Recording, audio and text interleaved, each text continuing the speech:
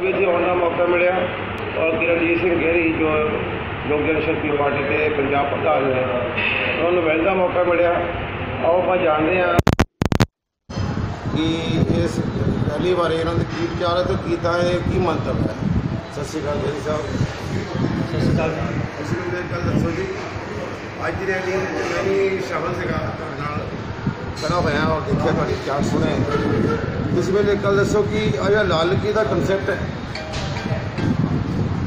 ਇਹ ਵੀ ਜਰਾ ਵਿਸਤਾਰ ਨਾਲ ਕੋਲ ਤੁਸੀਂ।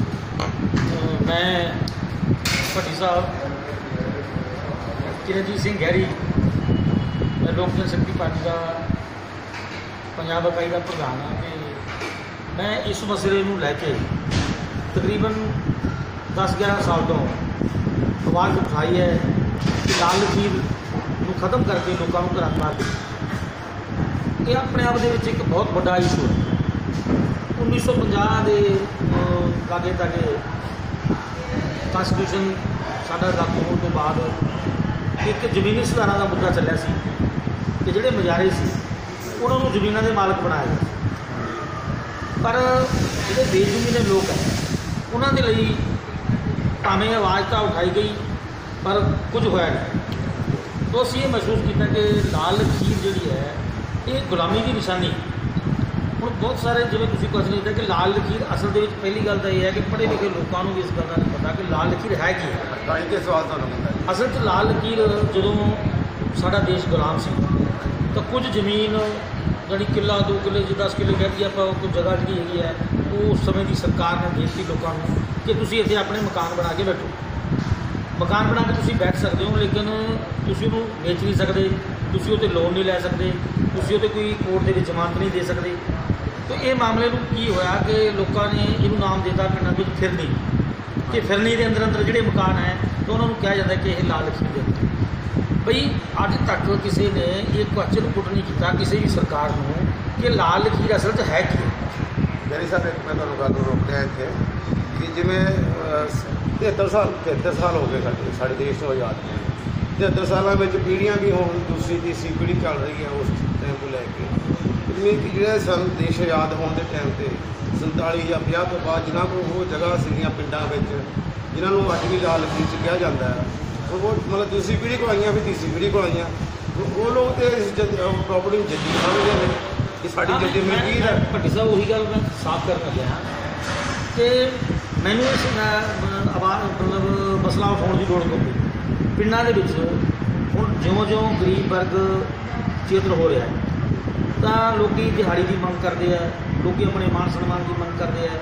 ਤੋਂ ਇਹਨਾਂ ਮਸਲਿਆਂ ਨੂੰ ਲੈ ਕੇ ਕਿਤੇ ਨਾ ਕਿਤੇ ਪਿੰਡਾਂ ਦੇ ਵਿੱਚ ਸੋਸ਼ਲ ਬਾਈਕਾਟ ਹੋ ਜਾਂਦਾ ਚਾਹੇ ਉਹ ਜਾਤੀ, ਅਸੀਂ ਕਹਿ ਲਈਏ, ਚਾਹੇ ਉਹ ਕਹਿ ਲਈਏ ਗਰੀਬਾਰੀ ਅਮੀਰਾਂ ਦਾ ਫ਼ਰਕ ਜ਼ਮੀਨਾਂ ਇੱਕ ਪਾਸੇ ਹੋ ਜਾਂਦੇ ਸੀ ਤੇ ਬੇਜ਼ਮੀਨ ਲੋਕ ਇੱਕ ਪਾਸੇ ਹੋ ਜਾਂਦੇ ਲੜਾਈ ਝਗੜਾ ਹੁੰਦਾ ਕਿ ਕਿਸੇ ਨੂੰ ਜ਼ਮਾਨਤ ਕਰਾਉਣ ਵਾਸਤੇ ਜ਼ਮੀਨ ਬੜਾ ਬੰਦਾ ਹੈ ਕਿਉਂਕਿ ਸਾਡੇ ਦੇਸ਼ ਦੀ ਬੜੀ ਤਰਾਸਦੀ ਹੈ ਮੈਨੂੰ ਬੜਾ ਅਫਸੋਸ ਹੈ ਇਸ ਗੱਲ ਤੇ। ਕੋਰਟਾਂ ਵੀ ਜ਼ਮਾਨਤ ਦੇ ਵੇਲੇ ਮੰਗਦੀਆਂ ਕਿ ਜ਼ਮੀਨ ਦੀ ਰਜਿਸਟਰੀ ਚਾਹੀਦੀ ਹੈ ਕੋਈ ਪਲਾਟ ਦੀ ਰਜਿਸਟਰੀ ਚਾਹੀਦੀ ਹੈ। ਉਹ ਮੈਂ ਸਮਝਦਾ ਬੇਜ਼ਮੀਨ ਲੋਕਾਂ ਕੋਲ ਹੈ ਨਹੀਂ ਸੀ। ਤੋਂ ਮੈਂ ਇਹ ਮਹਿਸੂਸ ਕੀਤਾ ਸਰਕਾਰ ਸਟੇਟਮੈਂਟ ਦੇ ਦਿੰਦੀ ਹੈ ਕਿ ਵੀ ਤੁਸੀਂ 5 ਲੱਖ ਦਾ ਲੋਨ ਲਓ ਤੇ ਆਪਣੀ ਦੁਕਾਨ ਪਾ ਕੇ ਆਪਣਾ ਕੰਮ ਚਲਾਓ ਬੇਰੁਜ਼ਗਾਰੀ ਖਤਮ ਕਰੋ। ਪਰ ਜਦੋਂ ਬੰਦਾ ਬੈਂਕ ਦੇ ਵਿੱਚ ਜਾਂਦਾ ਤੇ ਬੈਂਕ ਦੇ ਕੋਲ ਵੀ ਇੱਕੋ ਜਵਾਬ ਹੁੰਦਾ ਕਿ ਤੁਹਾਡੇ ਕੋਲ ਰਜਿਸਟਰੀ ਹੈਗੀ ਹੈ ਤਾਂ ਸਾਨੂੰ ਦਿਓ। ਜ਼ਮੀਨ ਹੈਗੀ ਹੈ ਤਾਂ ਸਾਨੂੰ ਕਾਗਜ਼ ਦਿਖਾਓ। ਜਿਹਨਾਂ ਕੋਲ ਜ਼ਮੀਨ ਹੈ ਨਹੀਂ ਮਕਾਨ ਦੀ ਰਜਿਸਟਰੀ ਹੈ ਨਹੀਂ ਮੈਂ ਸਮਝਦਾ ਕਿ ਉਹ ਖਾਨਾ ਬਦੋਸਾ ਦੀ ਤਰ੍ਹਾਂ ਜ਼ਿੰਦਗੀ ਬਤੀਤ ਕਰਦੇ ਪੰਜਾਬ ਦੇ ਵਿੱਚ ਐਸੇ ਲੋਕ 80 ਫੀਸਦੀ ਤੁਹਾਡਾ ਕਹਿਣ ਦਾ ਭਾਵ ਹੈ ਕਿ ਜਿਹੜਾ ਲੋਕ ਲੋਕ ਉਹਨਾਂ ਉਹਨਾਂ ਜ਼ਮੀਨਾਂ ਦੇ ਅੱਜ ਰਹਿ ਰਹੇ ਸੀਗੇ।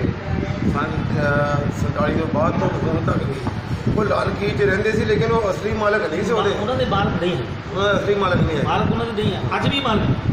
ਮਤਲਬ ਮਾਲਕ ਨਾ ਹੋਣ ਦਾ ਉਹਨਾਂ ਨੂੰ ਖਰਚਾ ਭੁਗਤਣਾ ਪੈਣਾ ਕਿ ਉਹਨਾਂ ਨੂੰ ਨਾ ਬੈਂਕ ਲੋਨ ਦਿੰਦੀ ਹੈ, ਨਾ ਉਹਦਾ ਜ਼ਮਾਨਤ ਦਿੰਦੀ ਹੈ। ਮੈਂ ਸਮਝਦਾ ਕਿ ਉਹ ਖਾਣਾ ਬਦੋਸਾ ਸਮਝੋ ਆਜ਼ਾਦ ਲੋਕ ਨਹੀਂ ਹੈਗੇ। ਮੈਂ ਸਮਝਦਾ ਗੁਲਾਮ ਲੋਕ। ਤੋਂ ਅਸੀਂ ਇਹ ਲੜਾਈ ਨੂੰ ਸ਼ੁਰੂ ਕੀਤਾ। ਜਦੋਂ ਸ਼ੁਰੂ ਕੀਤਾ ਸੀ ਤਾਂ ਉਦੋਂ ਮੈਨੂੰ ਇਹ ਲੋਕੀ ਕੁਝ ਪੱਤਰਕਾਰ ਸਾਥੀ ਤੁਹਾਡੇ ਵਰਗੇ ਸੀਨੀਅਰ ਸੱਜਣ ਮਤਲਬ ਇਹ ਕਹਿੰਦੇ ਸੀ ਕਿ ਯਾਰ ਗੈਰੀ ਸਾਹਿਬ ਨੇ ਪਹਾੜ ਨੂੰ ਮੱਥਾ ਲਾਇਆ ਤੇ 70 ਸਾਲ ਦਾ ਮਸਲਾ ਕਿਵੇਂ ਹੱਲ ਹੋ ਸਕਦਾ ਹੈ?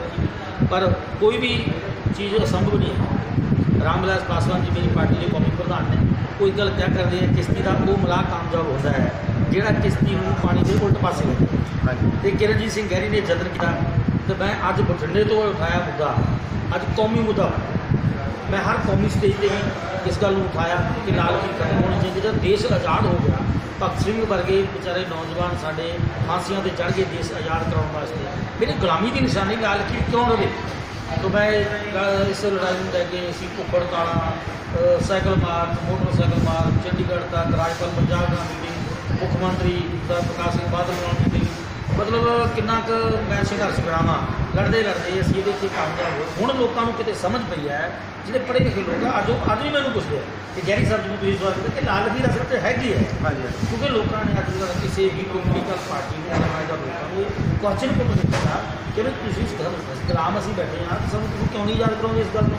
ਪਰ ਮੈਂ ਆਪਣੀ ਕਾਮਯਾਬੀ ਮੰਨਦਾ ਕਿ ਰਣਜੀਤ ਸਿੰਘ ਗਹਿਰੀ ਦੀ ਸਵਾਲ ਨਾਲ ਲੋਕ ਵਾਜਬ ਹੋਣ ਲੱਗੇ ਹੈ ਉਹ ਗੁਲਾਮੀ ਦੀ ਨਾਲ ਦੀ ਖਤਮ ਹੋਣ ਲੱਗੀ ਹੈ ਮੇਰੀ ਕਾਮਯਾਬੀ ਲੋਕ ਜਨਸ਼ਕਤੀ ਪਾਰਟੀ ਦੇ ਕੋਲ ਦੀ ਕਾਮਯਾਬੀ ਇਹ ਹੈ ਕਿ ਲਾਲ ਕੀ ਦੇ ਸਵਾਲ ਪਿਛਲੇ ਮਹੀਨੇ ਹਰਿਆਣਾ ਦੀ ਸਰਕਾਰ ਨੇ ਨੋਟੀਫਿਕੇਸ਼ਨ ਕੀਤਾ ਤੇ ਲਾਲ ਕੀ ਦੇ ਰਹਿੰਦੇ ਲੋਕ ਹੋਰ ਘਰਾਂ ਦੇ ਮਾਲਕ ਹੋਣ ਸਰਕਾਰ ਫ੍ਰੀ ਆਫ ਕਾਸਟ ਕਰਾ ਦਿੱਤੀ ਠੀਕ ਹੈ ਇਹੀ ਨੋਟੀਫਿਕੇਸ਼ਨ 30 ਦਸੰਬਰ 2016 ਨੂੰ ਪ੍ਰਕਾਸ਼ ਸਿੰਘ ਬਾਦਲ ਦੀ ਸਰਕਾਰ ਤੋਂ ਕਰਾਉਣ ਵਿੱਚ ਹੀ ਕਾਮਯਾਬ ਹੋ ਗਈ ਉਹਦੇ ਵਿੱਚ ਕੀ ਹੋਇਆ ਕਿ ਤਹਿਸੀਲਦਾਰ ਨੇ ਜਾਇਜ਼ ਕਰਤਾ ਕਿ ਜਿੰਨੀ ਜ- ਜਗ੍ਹਾ ਹੈਗੀ ਹੈ ਮਕਾਨ ਦੇ ਜਿਹੜਾ ਮੁਖੀ ਹੈਗਾ ਘਰ ਦਾ ਉਹਦੇ ਨਾਮ ਕਰਕੇ ਉਹਨੂੰ ਸਰਟੀਫਿਕੇਟ ਤਹਿਸੀਲਦਾਰ ਇਸ਼ੂ ਕਰੂਗਾ ਤੇ ਉਹ ਮਕਾਨ ਦੇ ਮਾਲਕ ਬਣ ਜਾਣਗੇ।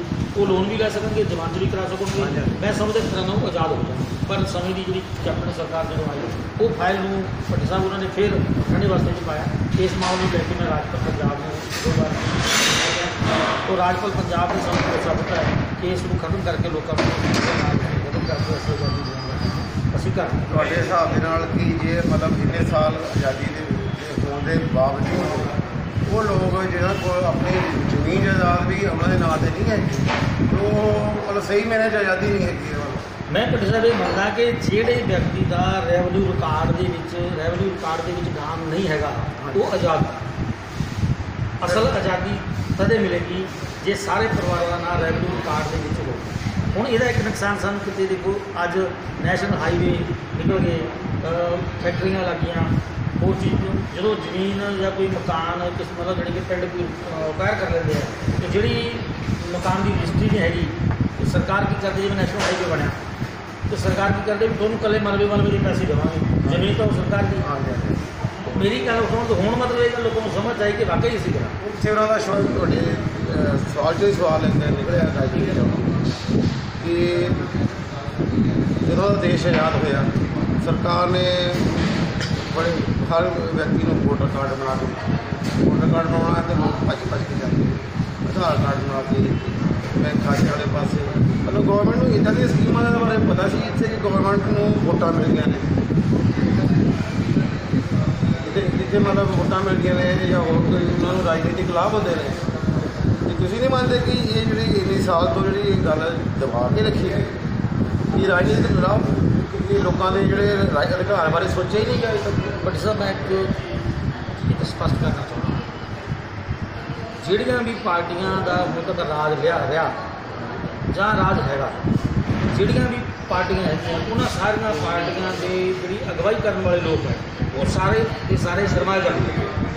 ਕੋਈ ਫੈਕਟਰੀਆਂ ਦਾ ਮਾਲਕ ਹੈ, ਕੋਈ ਜ਼ਮੀਨਾਂ ਦਾ ਮਾਲਕ ਹੈ, ਉਹ ਸਰਮਾਏਦਾਰ ਜਿਹੜੇ ਲੀਡਰ ਹੈ, ਉਹਨਾਂ ਨੂੰ ਇਸ ਗੱਲ ਦੀ ਲੋੜ ਮਹਿਸੂਸ ਨਹੀਂ ਕੀਤੀ, ਕਿਉਂਕਿ ਉਹ 80% ਲੋਕਾਂ ਨੂੰ ਗੁਲਾਮ ਬਣਾ ਕੇ ਰੱਖਣਾ ਚਾਹੁੰਦੇ ਕਿ ਇਹਨਾਂ ਨੂੰ ਮਤਲਬ ਆਜ਼ਾਦੀ ਦੀ ਗੱਲ ਇਹਨਾਂ ਦੀ ਸਮਝ ਨਹੀਂ ਆਉਣੀ ਚਾਹੀਦੀ। ਜੇ ਆਜ਼ਾਦੀ ਦੀ ਗੱਲ ਵੋਟ ਕਾਰਡ ਬਣਾਉਣਾ, ਉਹਨਾਂ ਨੇ ਵੋਟਾਂ ਲੈ ਕੇ ਆਪਣੀ ਸਰਕਾਰ ਬਣਾਉਣੀ, ਕਿਉਂਕਿ ਵੋਟਾਂ ਦਾ ਇੱਥੇ ਰਾਜ ਹੈ। ਪਰ ਲੋਕਾਂ ਨੂੰ ਅਸਲ ਵਿੱਚ ਉਹਨਾਂ ਦੇ ਦਿਮਾਗ ਦੇ ਵਿੱਚ ਇੱਕ ਕਨਸੈਪਟ ਹੈ ਕਿ ਜੇ ਇਹ ਲੋਕ ਆਪਣੇ ਪੈਰਾਂ ਤੇ ਖੁਦ ਖੜੇ ਹੋ ਗਏ ਇਹ ਚੇਤਨ ਹੋ ਗਏ, ਮਕਾਨਾਂ ਦੇ ਮਾਲਕ ਬਣ ਗਏ, ਕੋਈ ਸਾਡੀ ਗੁਲਾਮੀ ਨਹੀਂ ਕਰੂਗਾ। ਜਿਸ ਕਰਕੇ ਅੱਜ ਇਸ ਕਰਕੇ ਹੀ ਅਸੀਂ ਲਾਲਕੀ ਨੂੰ ਖਤਮ ਕਰਨ ਦੀ ਲੜਾਈ ਛੇੜੀ ਹੈ ਕਿ ਸਰਮਾਏਦਾਰ ਪਾਰਟੀਆਂ ਦੀ ਇਹ ਜ਼ਰੂਰਤ ਨਹੀਂ। ਉਹਨਾਂ ਸਰਮਾਏਦਾਰ ਪਾਰਟੀਆਂ ਦੇ ਬੜੇ ਲੀਡਰ, ਉਹ ਵੀ ਜ਼ਮੀਨਾਂ ਵਾਲੇ ਆ, ਫੈਕਟਰੀਆਂ ਵਾਲੇ ਆ, ਜਿਹੜੇ ਨਿਚਲੇ ਲੈਵਲ ਦੇ ਲੀਡਰ ਆ, ਉਹ ਵੀ ਜ਼ਮੀਨਾਂ ਵਾਲੇ ਆ, ਉਹ ਵੀ ਟਰਾਂਸਪੋਰਟਰ ਨੇ। ਉਹ ਗਰੀਬ ਲੋਕਾਂ ਨੂੰ ਦਾ ਸ਼ੋਸ਼ਣ ਕਰਨ ਵਾਸਤੇ ਇਸ ਮੁੱਦੇ ਨੂੰ ਜਾਣਬੁੱਝ ਕੇ ਨਹੀਂ ਛੇੜਨਾ ਚਾਹੁੰਦੇ। ਤੁਹਾਡਾ ਕਹਿਣ ਦਾ ਮਤਲਬ ਹੈ ਕਿ ਲੋਕ ਜਨਸ਼ਕਤੀ ਪਾਰਟੀ ਦਾ ਇਹ ਇੱਕ ਤਰ੍ਹਾਂ ਦਾ ਏਜੰਡਾ ਹੀ ਹੋ ਗਿਆ ਕਿ ਗਰੀਬ ਲੋਕਾਂ ਨੂੰ ਅਹ, ਉਹਦੇ ਪ- ਅਧਿਕਾਰਾਂ ਦੇ ਦੇ ਪ੍ਰਤੀ ਜਾਗਰੂਕ ਕਰਕੇ ਉਹਨਾਂ ਦੇ ਉਹਨਾਂ ਦੇ ਅਧਿਕਾਰ ਲਈ ਜਾਣੂ ਕਰਾਉਣਾ ਦੇਖੋ ਲੋਕ ਜਨਸ਼ਕਤੀ ਪਾਰਟੀ ਦੇ ਕੌਮੀ ਪ੍ਰਧਾਨ ਰਾਮ ਵਿਲਾਸ ਪਾਸਵਾਨ ਨੇ ਇੱਕ ਅ, ਨਾਰਾ ਦਿੱਤਾ ਕਿ ਹਮ ਉਸ घर में दिया जलाने चले हम उस घर में दिया जलाने चले हैं जिस घर में सदियों से ਤੁਸੀਂ ਇਸ ਗੱਲ ਨੂੰ ਅਸੀਂ ਸਮਝੀਏ ਇਹਦਾ ਮਤਲਬ ਕੀ ਹੈ ਕਿ ਜਿਹੜੀ ਗੱਲ ਕਿਸੇ ਨੇ ਨਹੀਂ ਕੀਤੀ ਉਹ ਗੱਲ ਅਸੀਂ ਕੀਤੀ ਅਸੀਂ ਸਟਾਰਟ ਕੀਤੀ। ਅਸੀਂ ਜਦੋਂ ਸਕੂਲਾਂ ਦੇ ਵਿੱਚ ਬੱਚਿਆਂ ਨੂੰ ਖਾਣਾ ਨਹੀਂ ਸੀ ਮਿਲਦਾ, ਅਸੀਂ, ਮੈਂ ਉਸ ਟਾਈਮ ਦਰਸ਼ਨ ਦਾ ਪ੍ਰਧਾਨ ਸੀ। ਅਸੀਂ ਇੱਕ ਇਹ ਆਵਾਜ਼ ਉਠਾਈ ਕਿ ਸਕੂਲਾਂ ਦੇ ਵਿੱਚ ਬੱਚਿਆਂ ਨੂੰ ਖਾਣਾ ਮਿਲਣਾ ਚਾਹੀਦਾ ਹੈ, ਸਕੂਲਾਂ ਦੇ ਵਿੱਚ ਬੱਚਿਆਂ ਨੂੰ ਵਰਦੀ ਮਿਲਣੀ ਚਾਹੀਦੀ ਹੈ, ਅਮੀਰਾਂ ਤੇ ਗਰੀਬਾਂ ਦੇ ਬੱਚਿਆਂ ਦੇ ਵਿੱਚ ਫ਼ਰਕ ਦੂਰ ਹੋਣਾ ਚਾਹੀਦਾ ਅਸੀਂ ਸਾਰੇ ਬੜੇ ਬੜੇ ਲੀਡਰ ਜਿਹੜੇ ਆ, ਉਸ ਸਟੇਜਾਂ ਤੋਂ ਜ਼ਰੂਰ ਕਹਿੰਦੇ ਆ, ਕੋਈ ਫ਼ਰਕ ਨਹੀਂ ਹੈ, ਕੋਈ ਜਾਤ ਪਾਤ ਨਹੀਂ ਹੈ ਕੋਈ ਗਰੀਬ ਅਮੀਰ ਨਹੀਂ ਹੈ ਸਾਰਾ ਕੁਝ ਬਰਾਬਰ ਹੈ। ਪਰ ਜਦੋਂ ਅਸੀਂ ਬੱਚਿਆਂ ਦੀ ਗੱਲ ਕਰਦੇ ਹਾਂ ਅੱਜ ਕਨਵੈਂਟਾਂ ਕਨਵੈਂਟ ਸਕੂਲਾਂ ਦੇ ਵਿੱਚ ਪੜ੍ਹਦੇ ਜਿਹੜੇ ਬੱਚੇ ਆ ਉਹ ਵੀ ਸਕੂਲ ਨੂੰ ਜਾਂਦੇ ਹੁੰਦੇ ਆ ਤੇ ਗਰੀਬਾਂ ਦੇ ਜਿਹੜੇ ਬੱਚੇ ਪੜ੍ਹਦੇ ਆ ਸਕੂਲ ਜਾਂਦੇ ਸੀ ਉਹ ਵੀ ਇੱਕ ਬੱਚੇ ਸੀਗੇ।